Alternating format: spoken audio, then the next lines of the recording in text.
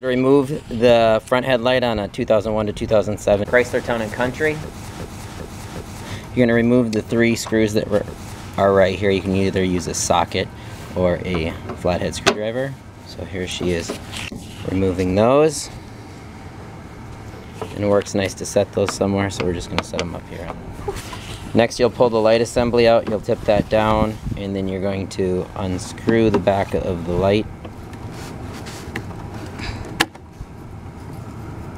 pull the light bulb out.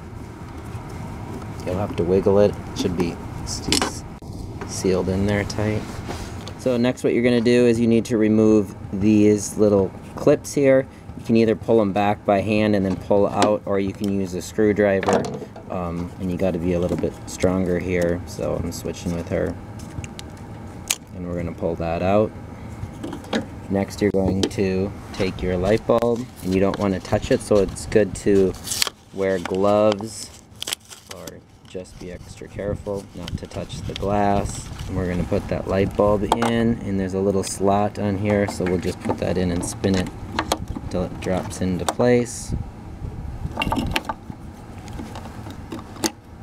Click that light bulb in so now we've sealed the back and then we're going to put this guard in. Once we have that all installed, we'll just slide it back together. We're just going to set our screws here.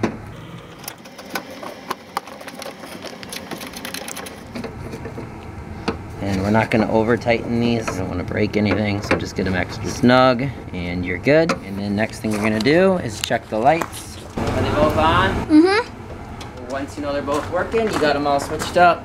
And as always, please like and subscribe. Thanks for watching. Appreciate it.